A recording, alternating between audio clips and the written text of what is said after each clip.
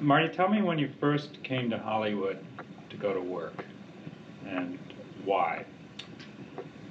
I came as a director uh, after I had done Edge of the City, 1957? 1957, and Fox. I had made the film for Metro, and uh, they didn't like it. Mhm. And when my agent, who was then MCA, said, "You don't have to like it. It's a terrific movie. Mhm. You know, look at the notices it's gotten." And they said it's not our kind of picture. And Fox offered me a job. I was broke. I was in debt. I hadn't, I hadn't worked for from 51 to 57, and uh, I was happy to, to get a job in Hollywood.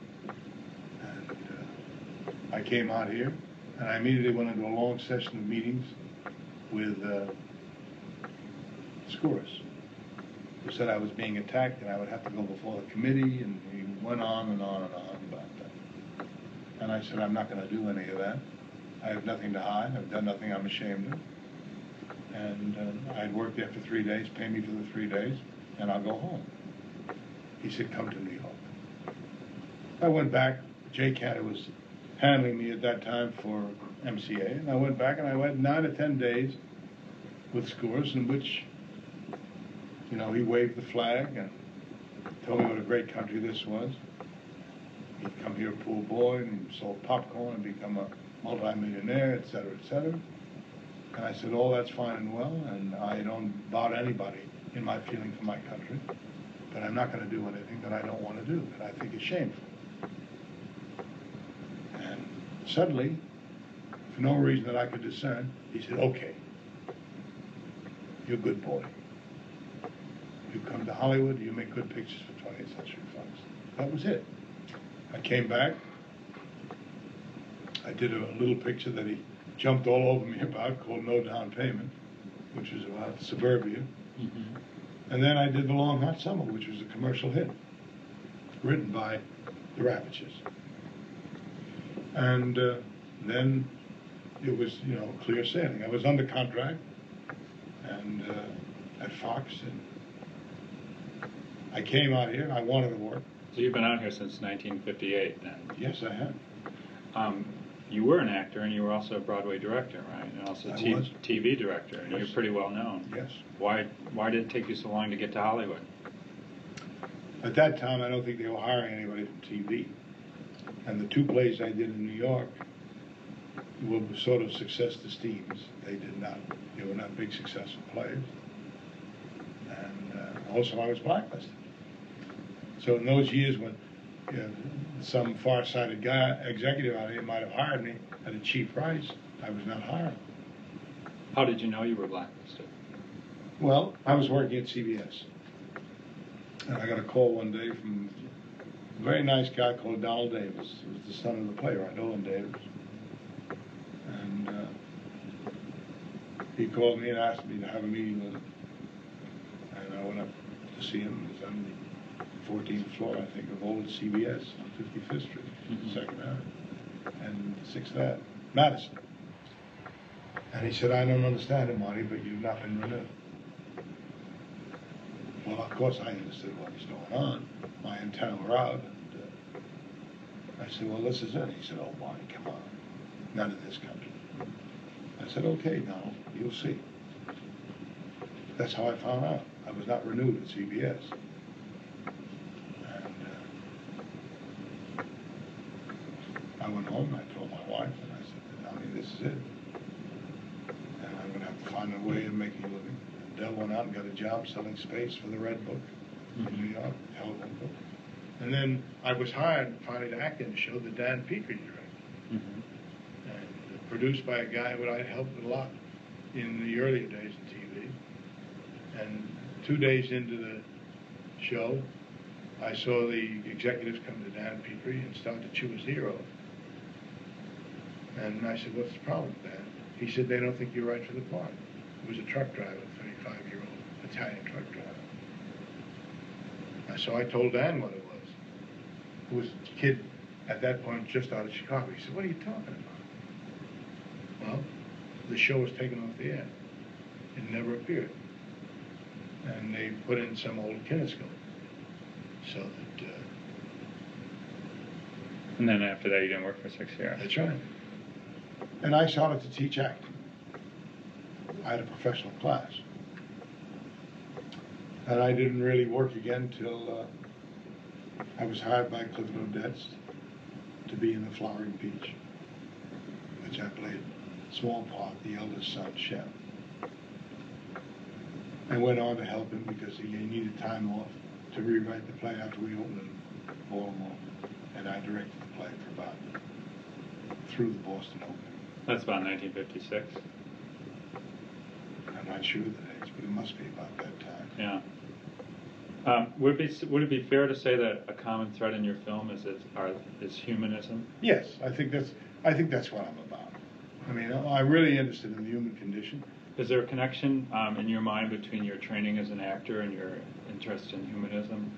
I think so, because as an actor, you look for those elements anyway, in, you, in, you, in whatever part you play. You look for to complicate it as much as you can, and uh,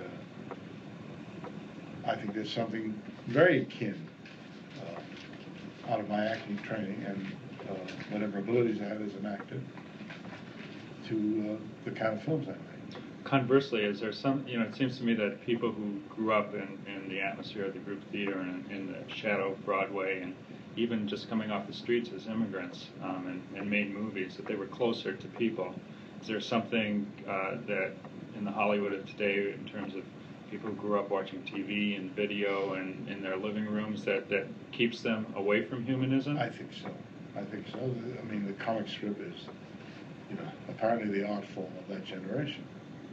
And now I hear, the last thing I heard on the radio was that the new generation is rejecting that for computers and listening to music and working at home and isolating themselves. So that the, the new corporate executives are having to find a different kind of drone. Mhm. Uh, humanism, I accept in the very gifted of the young. You- Where, where, once you're gifted, it's going to appear in your work.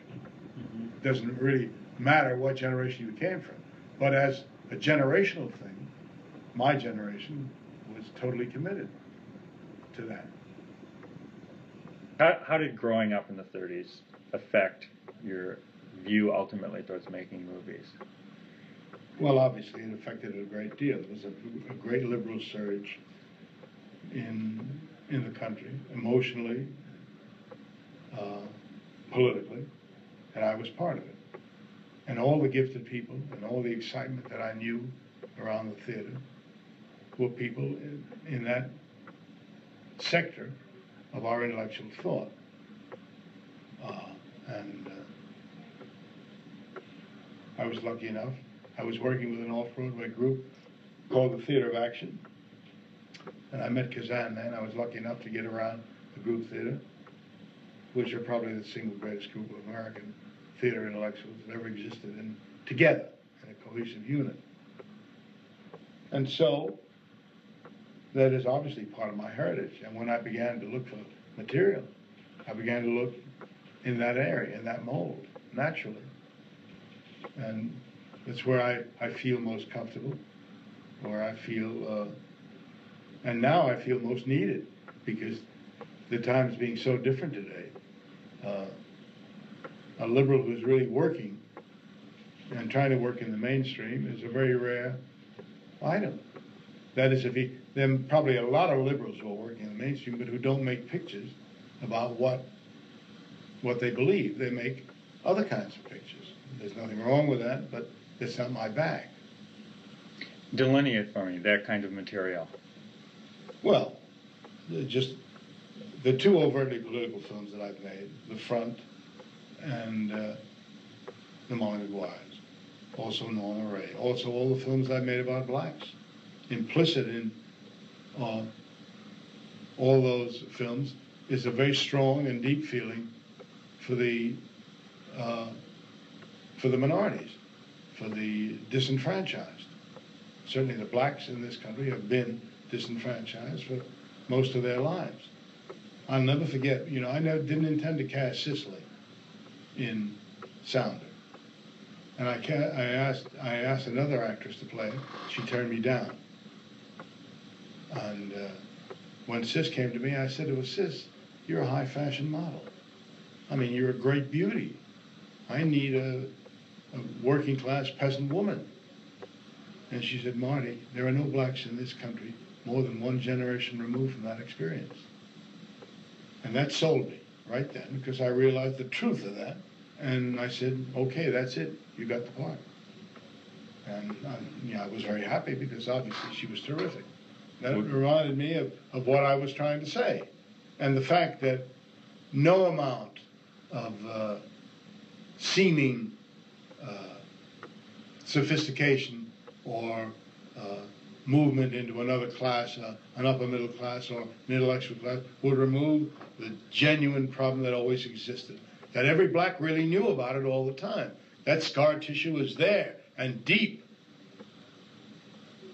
I've had occasion in my career to fight that because I haven't agreed with them all the time. But I'm very aware of it, very sympathetic toward it, and feel that it is one of the most grievous errors that we've made in, in my time in this country. Do you remember an experience that brought you to that thinking, or was it just the general climate of the 30s? Well, the general climate of the 30s, plus my own intrinsic feelings about the disenfranchised, be they blacks, Mexicans, Jews, working people. Those, those are the people really that I'm most interested in. We were talking about Altman doing streamers. Norman Jewison did Soldier's Story. Uh, why did so many um, white directors? There's so few black directors. So um, well, not it's very, it's very tough for black to get a job directing. Yeah. You know, and uh, so that. Uh, why do so so few white directors make movies about black people? I have no idea. What are the inherent problems when you start to do it being white?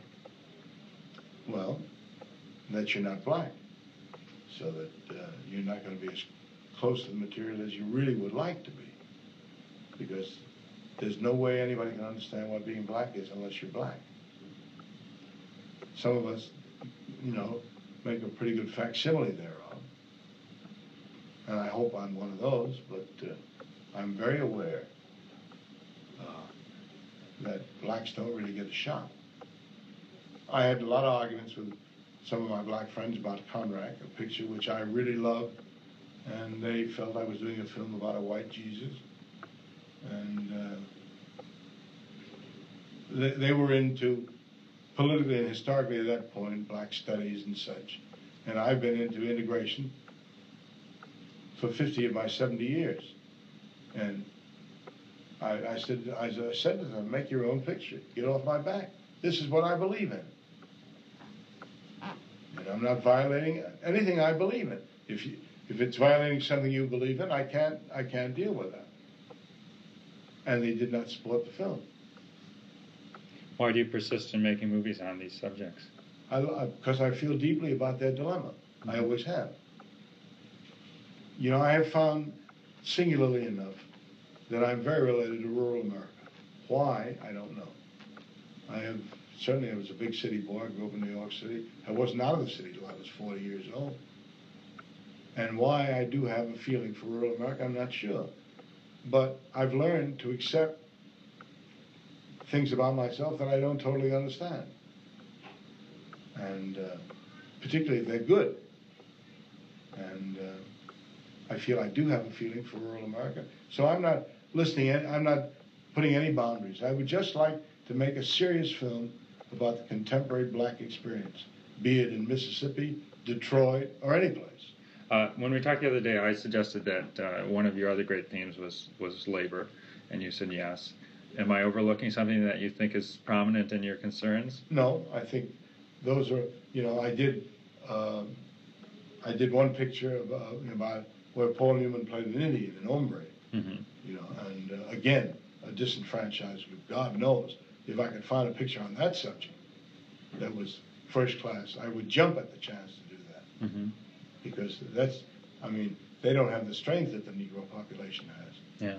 The Negro population, by virtue of the extraordinary gifts in show business and athletics, you know, have uh, dominated a lot of our culture in the last decade or so. But the Indian has really been neglected.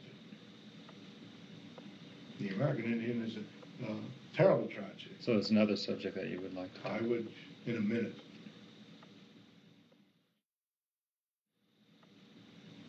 Today, Marty, we have like widespread unemployment, we have racism, we have threatening global war at any given point. We have all these problems that are really, you know, certainly the same, possibly the worst, as bad as, uh, uh, or worse than what, what you faced and thought about in the 30s. Why don't we have socially conscious artists today?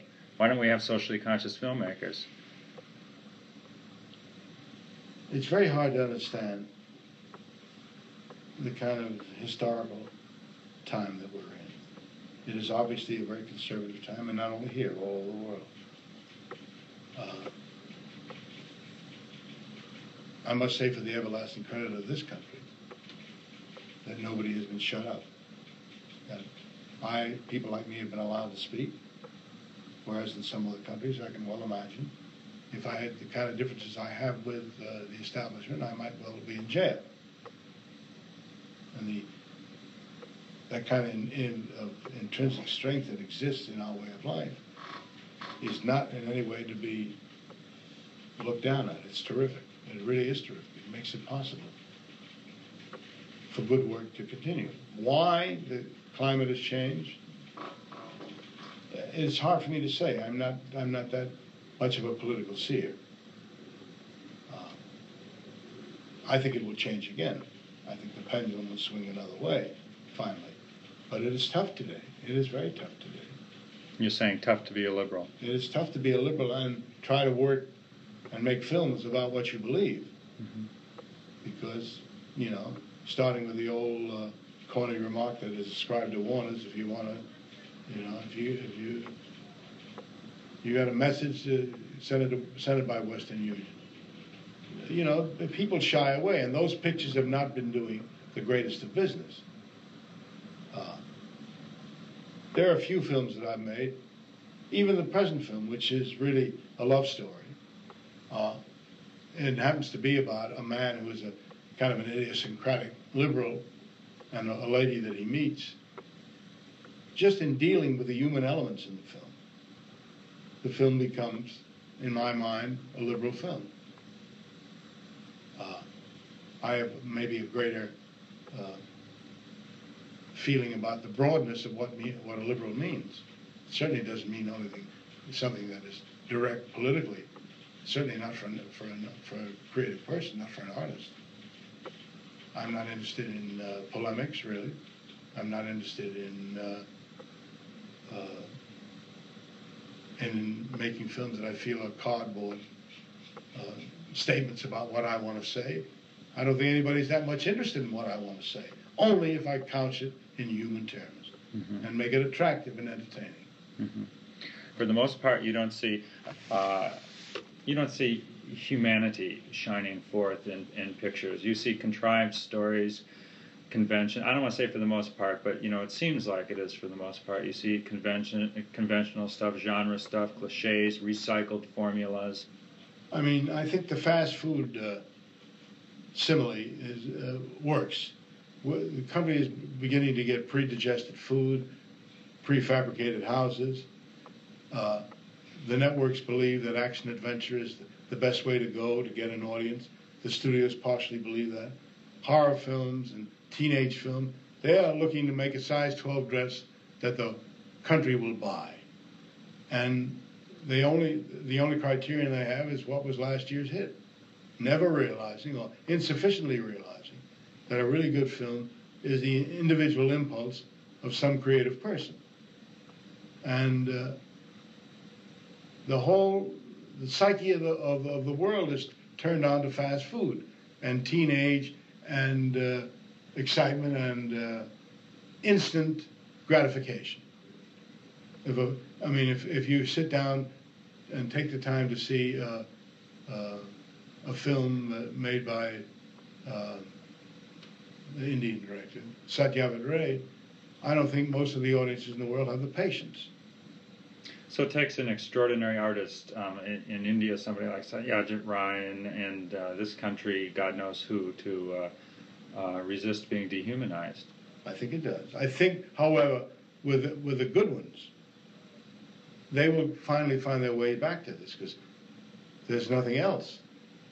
I mean, uh, there, there fundamentally is nothing else. That's why, in the case of Altman, uh, he is always dealing on, on some level with the human condition. And uh, Which which makes him an artist more than someone who's dealing with the cops and robbers. that's right. genre. You know, he uh, it's the more difficult kind of film to make, which is another reason the studios shy away from it. The other thing is much more predictable. Yeah.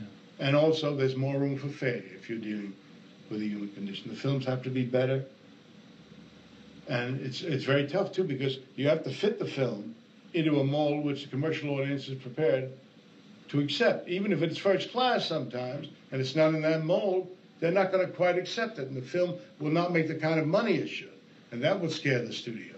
Yeah. Is um, you said to me uh, in, when we talked before that ultimately, uh, in, in times of either political strife or um, conflict, that you trust the artists rather than the politicians. That the artists would lead you to the truth. sooner- More, more so than anybody else I know. I believe that. I believe that deeply, and it sustained me in times wh- which looked very black for me. I felt that I, I had to go on because uh, it had to be what, whatever I wanted to say. I felt had to be said. You know, and, and as I say, I I am considered by many a, a very political fellow. My films are, are hardly outside of two, maybe three. Maybe Norma Rae would be included in that. Uh, are hardly political. Is there a relationship between a, a good movie, not a good movie of yours, but a good movie in general, and telling the truth? I think so. A good one, not a successful one. I differentiate between the two, obviously. Yes, if it's if it's really good, it has to be. It has to have true perception about with what it, with what it deals. What if it's uh, fantasy, comic book, conceptual? Well, those are there are also very true perceptions in those. It is naive to assume that any film, even the, is not political. They're all social, at least. They're either selling escape or they're selling reality.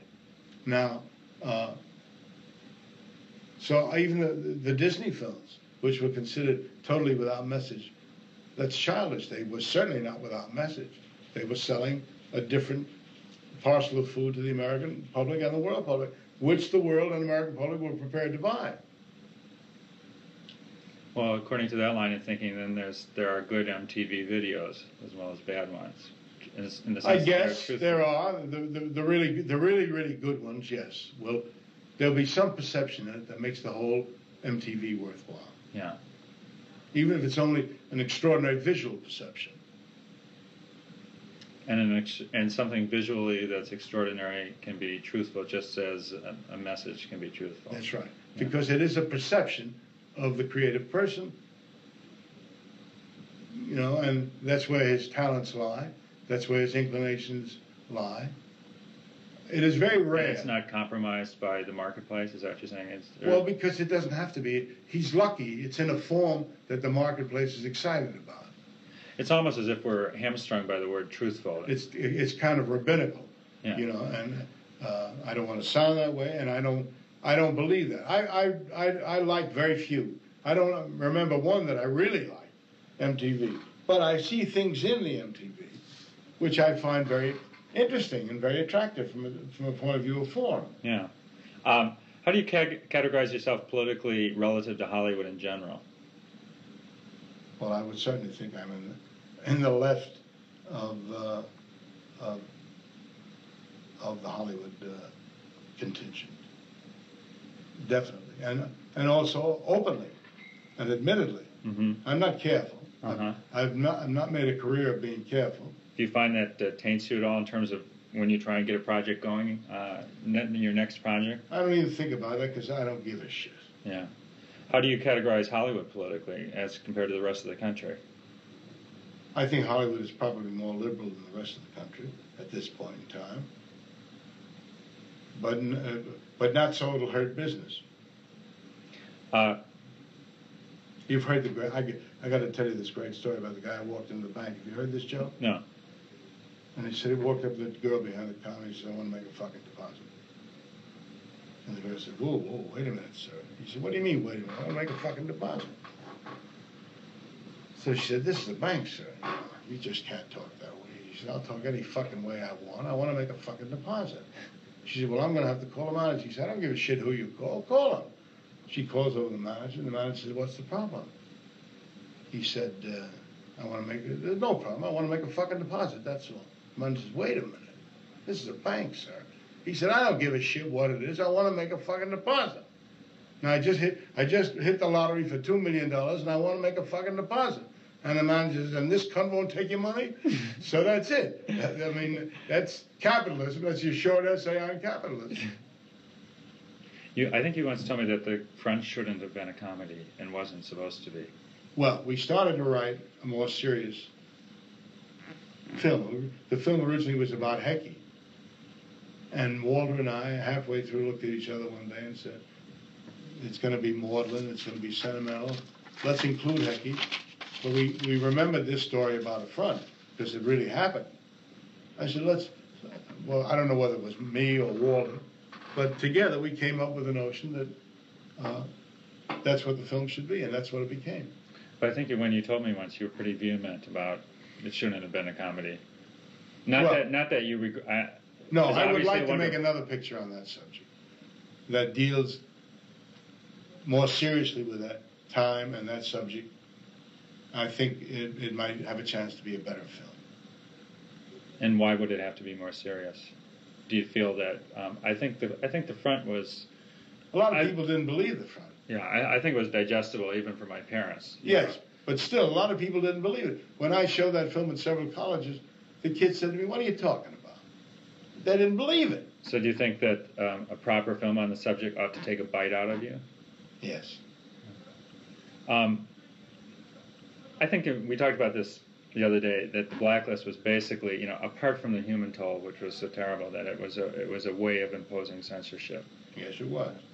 Uh, but I mean, I think since the front, we're not. We've now the pendulum has now swung back so that we look upon uh, the blacklist kind of, um, uh, you know, almost congenially, and think that these people uh, are, you know, at at worst they became celebrities, you know, through their experience. Um, and we have a president of the United States who in, helped impose the blacklist, who goes on, you know, who says, well, there really wasn't any blacklist, and just a few people didn't work, etc.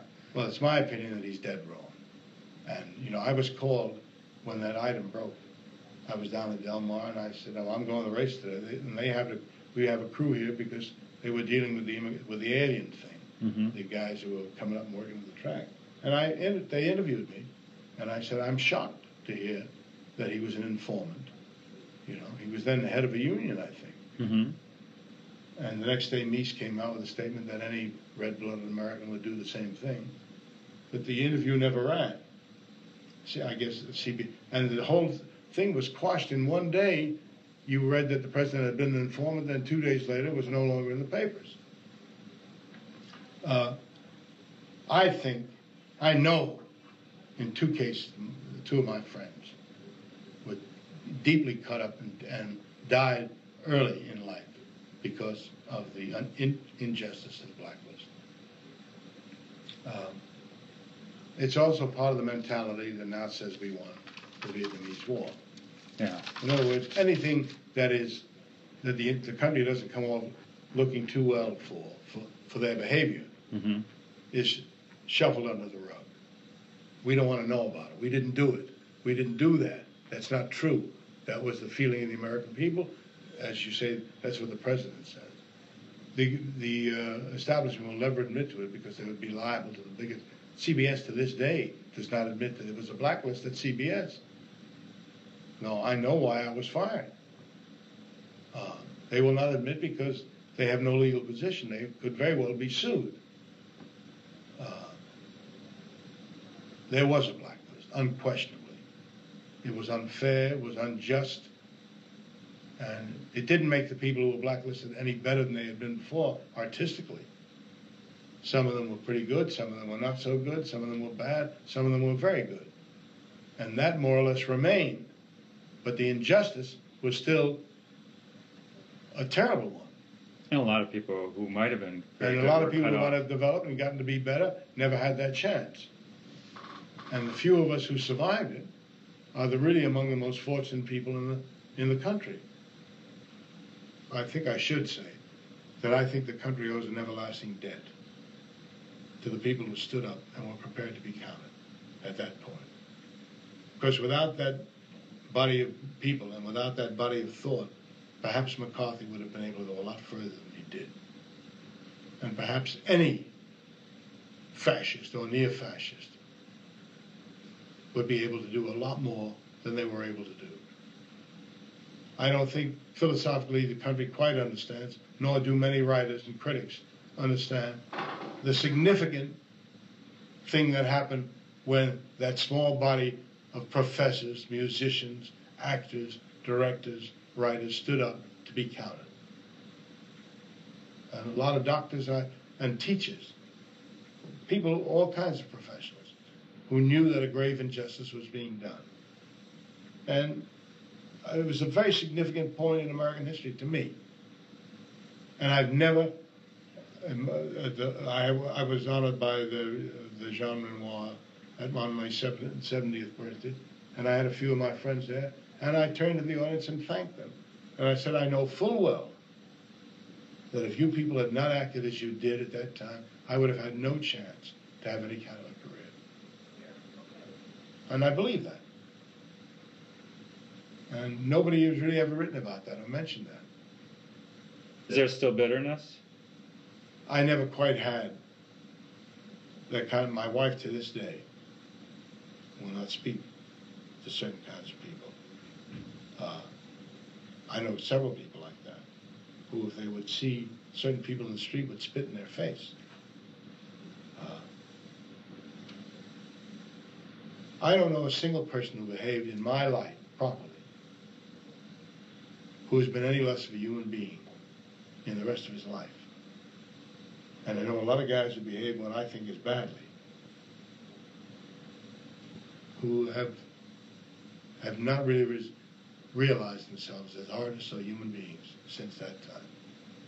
That's interesting. How do you account for that? You think it was such a They made a wrong move. yeah. They violated themselves. Has there been uh, any?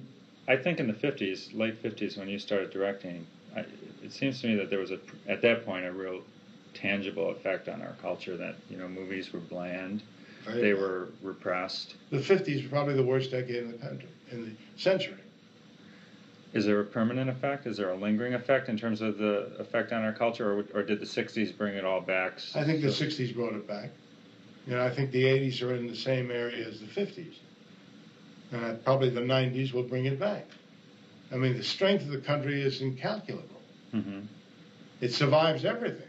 Mm-hmm. Does is it possible that it could happen again? Sure, it's possible, but it's less likely because there was that core of people who did the right thing at that time. So we'll always have their example. And it has nothing to do with politics. That has to be understood. It has nothing to do with, it has to do with morality. I have never in my life confused ethics and politics. I know some very ethical people with whom I have no agreement at all politically, and I know some very unethical people that I have all kinds of agreement with politically. You can't deny who you are or what you are. I mean, If suddenly, you know, our two greatest playwrights in my time were Tennessee Williams and Arthur Miller. And if suddenly they find they, they're not popular because everything has swung the other way, as it certainly was in the case of Tennessee, you got to have enough class to pick up their marbles and say, that's who I am, that's what I am, and that's what I'm going to do. And if you don't like it, fuck you. It's no less work because you don't happen to like it because it doesn't suit the time. Tennessee ended tragically, unfortunately. He was a great artist, unquestionably. And it had an incredible effect on our society. He wrote about the most unlikely things in the world and made them part of American everyday talk. Big Daddy, you know, who, I mean, flowery, not flowery, poetic terms, you know, which uh, was special to him. and were foreign to the rest of the country because they were told, told with such truth and such, such riveting poetic gift that it became everyday, everyday lore with the American people.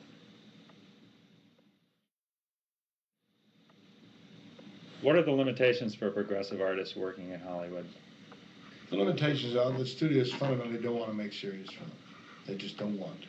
They've come to the conclusion that they're not as good an investment as the other kinds of films.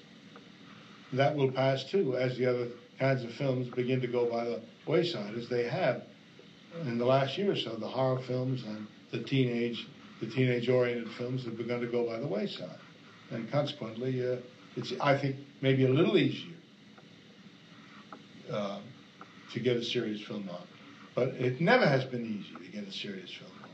Never. But in the days of the studios, they would they as a matter of pride, they would want to put out you know five serious movies Mhm. a year for award purposes, for their own aggrandizement, and for the for the PR value. for the PR value, and I think legitimately because they believed in serious movies to a certain extent. I think somebody, they did. Somebody like Darryl Zanuck, he wanted to put out these terrible musicals, but at the same time, he wanted to put out an important picture. You know, just think back. The five pictures that were nominated last year were all turned down by major studios. Every single one of them. That's got to tell you something about what major studios are prepared to uh, subsidize at this point.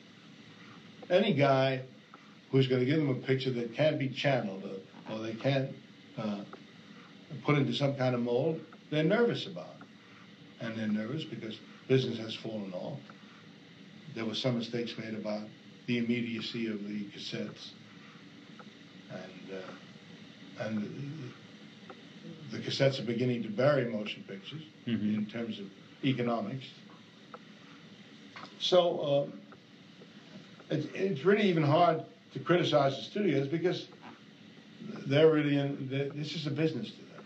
Yeah, they're They the would market. like to make good pictures, but uh, fundamentally, if they there's no good picture to an exhibitor that doesn't make money. Mhm. That by definition, that's a good picture, a film that makes money. We know, of course, that's not true, and we've seen a lot of schlock in the last few years make bundles of money. Mhm.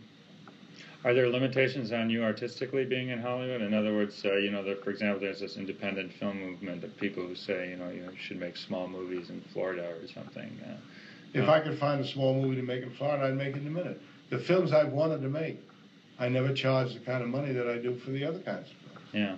What are the limitations for you politically in Hollywood? Is the sky the limit if you can figure out how to do it? If to I find it? a picture that I want to make that happens to be too political for this gang, I'll find another way to make it. You know, and I may be able to sell them even a political picture by bringing the picture in at such a price that they can't resist it because I'll get stars and I'll make the film. Is part of the problem in Hollywood uh, um, just finding the material in this kind of society where it's a liberal, tolerant society, and no one is no one is breaking through the barriers to No, it's very tough to find that kind of material. Most of it exists in the past, and uh, but I, I haven't found anything on that level that I really would prepare to go to bat for Mhm. and say, I'll make this picture. I'll make it for four and a half million dollars. I don't want any money in front. Now, this will probably bring me a rash of scripts of the worst goddamn scripts that anybody could read because I get some of those. I get some crazy uh, scripts, political scripts that are just god awful because they it's all politics and they've forgotten everything else. Well, what's the problem with political screenwriters? They can't lick. Uh, I don't think there are a lot of them around. They were developed in the same time that I was developed. Yeah. You know. Well, do you think they all nowadays people just think in terms of, you know, like cardboard agitprop, and they can't figure out More or less, they think in, in either in terms of straight entertainment. Yeah, I think uh, I think it's a problem for, for leftist filmmakers all over the world. It's not it's not really their time. They got to find some way to keep alive during this time until the time comes back, and it will come back because it always has. In terms of Hollywood, are there great leftist movies, or are there great progressive movies that you would point to as being among your favorite, both as movies and as politics?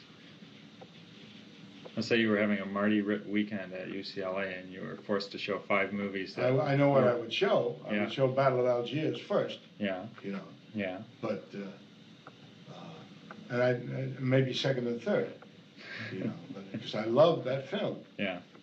but, uh. How about if I had told you you had to put a few Hollywood movies on the list? I wouldn't, uh, would, be- wouldn't be faring too well.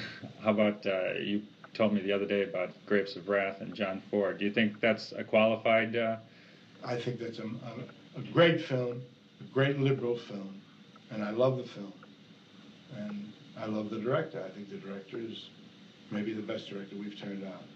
yeah, you explained to me the other day that there's an example of a of a basically conservative artist, art, conservative not meaning politically conservative, but just a conservative man, traditional man, who when he was forced to go deeper into himself to produce his work, he produced, you know, fundamentally humanist, liberal, progressive Because he's a great artist.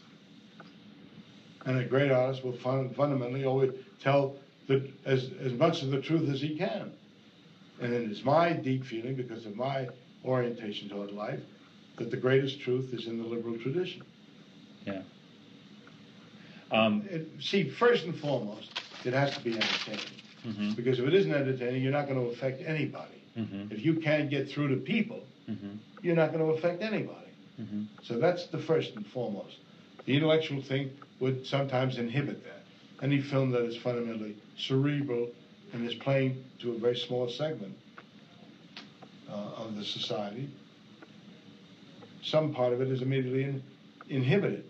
I feel that I'm plain enough Mhm. that what I really like will be I will be able to get to the, most of the people because I'm I feel I'm more or less like most of the people Mhm. maybe a little more sophisticated, a little fatter, uh, a little smarter.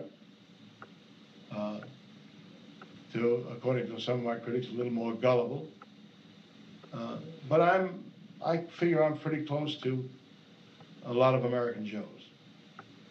Um, would it have been different for you? Uh, would the possibilities, would your imagination have been differently different if you had worked like Joe Losey did, and completely outside of Hollywood? I might have. I don't think that I quite had Joe Losey's skill, and that I would not be able to do subject matter that was not part of my gut. Mm-hmm. I'm not sure. I didn't know Joe well enough, but uh, I admired many of his films, and I felt that uh, I didn't know Joe well enough to know if that was his gut. I just couldn't say that. Yeah. But I think with a guy like me, I better do films that are out of my gut. Um, do you feel at all uh, inhibited by the fact that you don't write? Somewhat, but every director writes. You know, whether he really writes the written word. I've I've written two plays in my lifetime, and tried to write two or three screenplays, and they're all serviceable. They're never really good, and so, you know, I know that I shouldn't be. I mean, when I've done six films with the Ravetches, I know how good they are. I know the kind of talk they write and I can I can never compete. I manage that kind of talk sometimes in conversation, but never when faced with the empty page. Again, the fundamental thing is I pick up something, I read it, and I'm affected. When I read the article about that woman in the New York Times Magazine section, talking to her two children, out of which you made the film Norma Rae, explained to them how tough life was going to be because the town was after her because she was on the side of the Union. I was very affected. I had never, I, I remember it so few times in my life, even with the most sophisticated and conscious political women, to ta- taking that point of view. And for this unsophisticated woman Mm-hmm. to take on that load because of some recognition that had come into her life affected me a great deal. Well, is it fair to say that after you get the material that you try and bring yourself to a project through the actors, through the acting? Um, yes, I would. I think that is fair. And, uh, I feel that very often the performances of the films that I make illuminate the subject matter. It's part of that. Part of the fact I was an actor. Part of the fact I was trained as an actor at the group theater, and that I've taught acting at the Actor Studio, and, and there's several other places. And uh, I have I love actors. I mean, I really love them. And as I see them begin to function, I can be very helpful. What's the value of, uh, of complexity in a performance? It's of extraordinary value.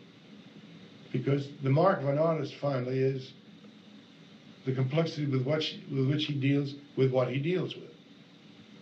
Uh, the uh, facility, which some actors have to a very high degree, is of some importance, but it's, it's not nearly as important as the ability to perceive things which make a character genuinely come to life. How hard do you work with actors? I work very hard. And in what way? Can you describe the process? Well, it's hard to say. I do rehearse for two weeks, in which they understand, in which time I make them understand what it is about the picture, why I'm doing it, why I like it. And I will not let an actor, I will listen to an actor change certain words, never if it's going to violate the meaning of the scene. I'm explain to them I am committed to meaning. And I will go along with anything short of changing the meaning that I think the film should have. Content to me is uh, now it doesn't have to be as it isn't, say, in some of the films I've made. It can be light, as it is in Murphy's Romance, which is really fundamentally a straight love story. But uh, I think it has a lot of humor and a lot of, feeling and a lot of uh, understanding of the dilemma of this younger woman and this older man. Yeah. Um, I asked you about this the other day. I was surprised that as a leftist you did Faulkner, and you said you wouldn't do him again. I wouldn't because I don't. I, I don't think. Uh, uh, the Long Hot Summer was a, a, good, entertaining commercial film. The other one, Silent Fury, I didn't like.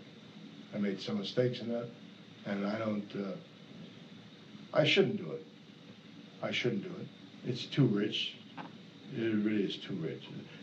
With with great writers like that, it's very tough because in a film you have to tell a story, and when the language becomes so much the star of the story, the story it's almost not translatable. Yeah. It becomes something else. And it was just accidental that you got drawn into Faulkner at a certain yes. point. Yes, really because of the Ravetches, because they are devoted to him and think, you know, he's the greatest American writer, which he may well be. Yeah. Um, which of your movies are closest to the way you would like, would wanted them to be? The other day you said your three, the three that were Oscar nominated. Well, no, I would include in that HUD, uh, Norma Rae, Sounder, the Maguires, uh, Conrack, The Front, The Spy Who Came Into the Cold. There are a lot of them that I, I would say about, I've made about 20 some odd films. Two or three of them I really don't like. Mm-hmm. But most of them you do. Most of them I like in varying degrees. How come so many of the, the uh, great directors of your generation aren't working? Or is it is it just uh, is it more than just um, oh attrition? Well, part of it's attrition. Uh, the rest of it, I, I, don't.